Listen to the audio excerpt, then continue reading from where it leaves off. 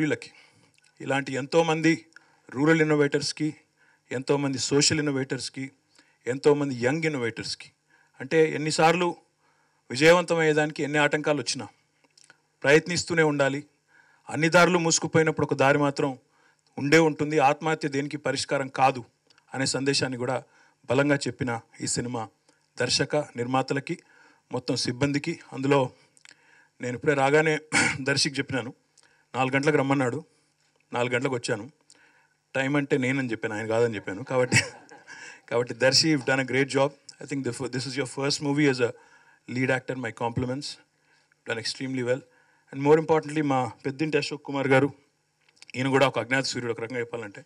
ఎందుకంటే extremely talented writer extremely talented writer ఎన్నో పురస్కారాలు గెలుచుకున్న అద్భుతమైన రచయిత. తెలంగాణ భాషలోని మాధుర్యాన్ని తెలంగాణ యాసలోని మాధుర్యాన్ని ఎంతో అద్భుతంగా ఈరోజు మరి తెర మీద అందరూ నటులు ఒక్కరని కాదు ఒక్కరని కాదు అందరూ కూడా అసలు ఎక్కడ తొట్టుపాటు లేకుండా ఎక్కడ పొరపాటున ఒక పుల్లు మాట లేకుండా ఎంత సహజ సహజంగా అంటే చాలా కృతకంగా ఉంటుంది. చాలా సందర్భాల్లో సినిమాల్లో తెలంగాణ యాస కృతకంగా ఉంటుంది. కానీ ఈ సినిమాలో మాత్రం నిజంగా చెప్తా ఉన్నా ఏదో గ్రామీణ ప్రాంతంలో ఎక్కడో మనం ఒక కుర్చీ వేసుకొని కూర్చుంటే అక్కడ గలీలో లేకపోతే అక్కడ అక్కడ అక్కడ ఊర్లో జరుగుతున్న సంభాషణ మాదిరిగా చాలా యథాలాపంగా వాళ్ళ నోటెంబర్ల దొరికిన పద్ధతి కూడా I compliment all the actors Darshi Ananya the entire team Lakshman garu కూడా యాక్టర్ అయ్యారు. బట్ లక్ష్మణ్ గారికి అశోక్ కుమార్ గారికి ఇంకా all the actors all the technicians my whole hearted compliments even though you haven't asked Raj అడగలేదు బట్ ఐ థింక్ డెఫినెట్గా this cinema deserves support from the government so ఆ సపోర్ట్కి సంబంధించి నేను ప్రభుత్వంలో లేను కాబట్టి నేను చెప్పను.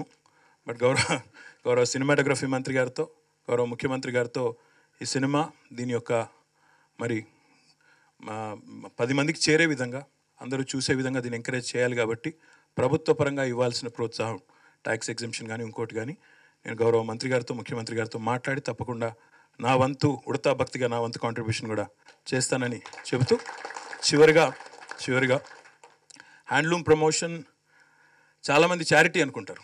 హ్యాండ్లూమ్స్ వేసుకోవడం అంటే ఏదో చారిటీకి వేసుకున్నట్టు అనుకుంటారు కానీ నా విజ్ఞప్తి ఏంటంటే మేము ఎప్పుడైతే గడిచిన ఐదు సంవత్సరాలుగా ఒక ప్రయత్నాన్ని ప్రారంభించాం. ప్రతి సోమవారం విధిగా చేనేత వస్త్రాలు ధరించాలి చేనేత క- కళాకారులందరికీ అండగా నిలబడాలనే ప్రయత్నం ఏదైతే ప్రారంభించామో కొంతమేరకు సఫలమయ్యాం.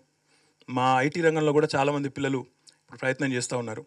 నా విజ్ఞప్తి ఏమంటే ఈ సినిమా ద్వారా హ్యాండ్లూమ్ కూడా కొంత ప్రమోషన్ దొరికి చేనేత కళాకారులకు కూడా వారికి కూడా ఇంకా వారి బిజినెస్ కూడా పెరిగితే I would be one of the happiest people I request friends from media ఎందుకంటే చేనేత కళాకారులకి ఎంత చేసినా ప్రభుత్వ పరంగా ఎంతో కొంత చేయొచ్చు కానీ అల్టిమేట్గా వారి వస్త్రాలు ధరించే విధంగా మనం ఎంత మనం మార్కెటింగ్ చేయగలిగితే ఎంత వారికి ప్రోత్సాహాన్ని కలిగించగలిగితే అంత లాభం జరుగుతుంది వారికి అనే విషయాన్ని కూడా మళ్ళొకసారి మీకు విజ్ఞప్తి చేస్తూ మంచి అద్భుతమైన సినిమాని ఒక సహజంగా సహజత్వానికి దగ్గరగా ఉండే సినిమాని తీసుకొచ్చినందుకు దాన్ని నాకు చూసి